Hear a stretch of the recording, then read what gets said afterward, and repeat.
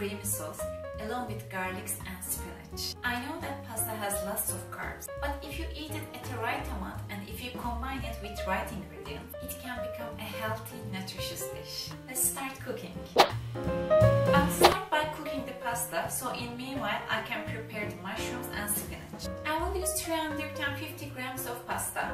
I'm using these butterfly ones, but you can choose any kind you like.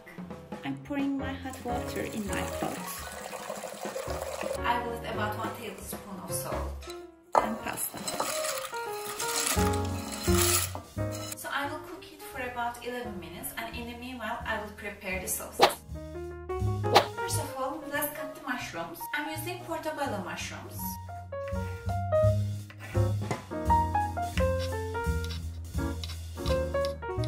Now I'm taking a large pan and I'm putting 2 tablespoons of olive oil. Up, I'm adding the mushrooms. On top of the mushrooms, I will add some spices. I'm adding like a quarter teaspoon of black pepper and half teaspoon of paprika. Also, I add 2 cloves of garlic.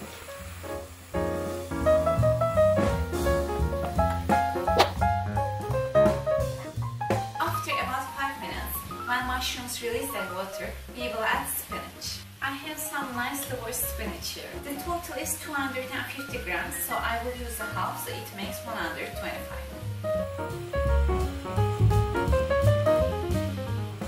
Now I will mix.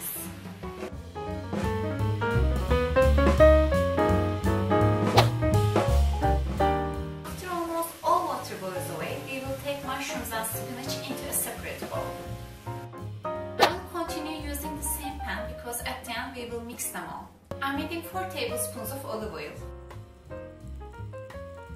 And I'm adding 2 tablespoons of flour. And we mix them very well.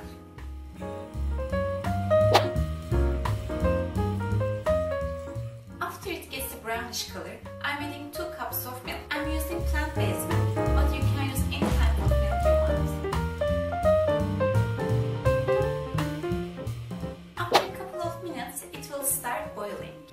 We will stir it on low heat until it thickens up. And I will cook this for about 5 minutes. For a thicker sauce, you can cook more, or for a thinner sauce, you can cook less.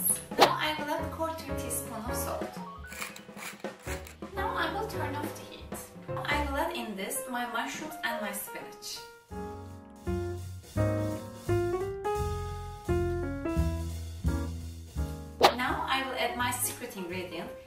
Take this dish to a next level. I'm adding cashews. I love cashew nuts and they add another dimension into this pasta.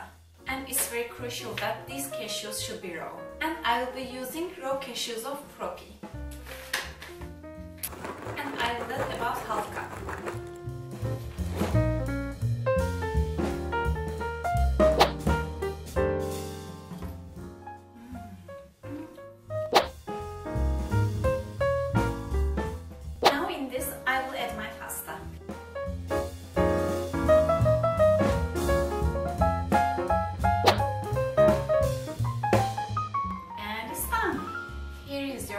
pasta with mushroom and spinach and cashews. I will taste it now before serving.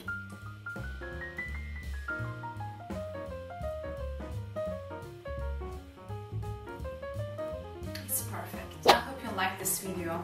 And if you want to see more videos like this, don't forget to subscribe. And if you try this recipe or if you have any other pasta recipes of your favorite, let me know in the comments. See you in the next video.